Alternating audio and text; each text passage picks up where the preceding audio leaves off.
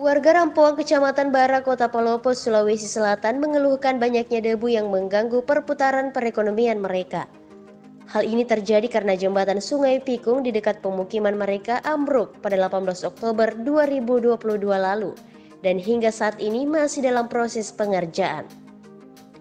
Debu yang berterbangan dari puing-puing jembatan membuat warga kesulitan bernafas dan beraktivitas.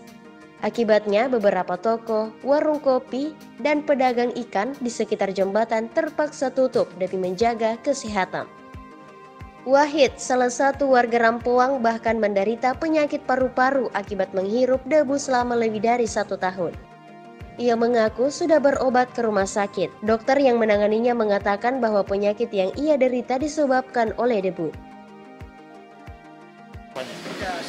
Mudah-mudahan pemerintah secepatnya menyelesaikan jembatan ini. Karena saya ini gara-gara jembatan ini, debu masih di dalam rumah, sampai saya masuk rumah sakit, nah, dokter lihat di sana, dia masalah ini debu, sampai kau punya paru-paru itu ada yang ya, ada infeksi. Nah, ini gara-gara debu ini.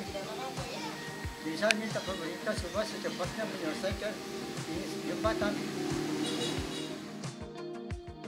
Ruhaida istri Wahid berharap pemerintah segera mengambil langkah untuk mengatasi masalah ini.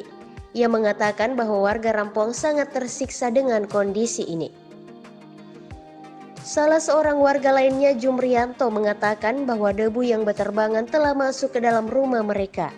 Ia berharap pemerintah segera memperbaiki jembatan Sungai Pikung agar warga bisa beraktivitas dengan normal jembatan ini apa yang menyebabkan uh, suka sakit namanya ditutupi uh, anu mencegah itu dulu baru dia siram juga. Cuma dua kali satu hari.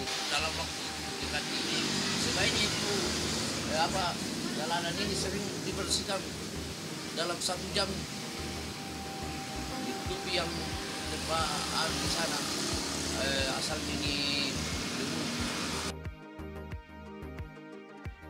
Sulfikri mengabarkan dari Kota Palopo, Provinsi Sulawesi Selatan.